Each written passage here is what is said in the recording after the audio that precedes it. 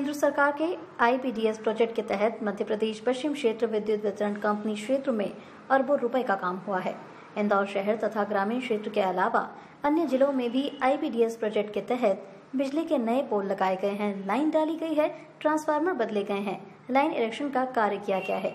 अन्य कार्य योजना में शामिल गरीब बस्तियों में बिजली पहुँचाने और पुरानी लाइन की जगह नए पोल लाइन डालकर विद्युत लाइनों का नवीनीकरण वाली योजना केवल अधिकारियों और ठेकेदारों के जेब भरने वाली साबित हुई। योजना में काम करने वाले किसी भी ठेकेदार ने गुणवत्ता युक्त कार्य नहीं किया और इंदौर में काम करने वाली कंपनियों के बाद धार व झाबुआ में काम करने वाली यूबीटीए कंपनी की भी शिकायत एमडी को की गई। शिकायतकर्ता अनवर खान का कहना है कि यूबीटेक कंपनी द्वारा जो कार्य संपादित करना बताया गया है, जिसका विद्युत वितरण कंपनी द्वारा भुगतान किया गया है। वास्तव में यूबीटेक कंपनी ने वो कार्य सही तरीके से संपादित ही नहीं किया, जैसे पोल के लिए खोदे हुए गड्ढे में सीमेंट का बेस नहीं दिया गया। 11 केवी लाइन में डाले गए कंडक्टर भी निर्धारण माप नियम पूर्वक नहीं है।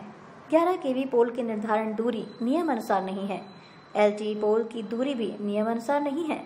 लगाए गए पोल की फेंसिंग सही नहीं होने से अभी से पोल आड़े टेढ़े हो रहे हैं। कई स्थानों पर ट्रांसफार्मर भी नहीं लगाए गए हैं। भुगतान से पहले संबंधित अधिकारी द्वारा मौके पर जाकर भौतिक सत्यापन किया जाता है और गुणवत्ता की जाँच की जाती है। जाँच के बाद ही भुगतान किया जाता है। धार में पदस्थ रहते हुए कामेश श्रीवास्तव ने कार्य की भौतिक सत्यापन रिपोर्ट दी थी।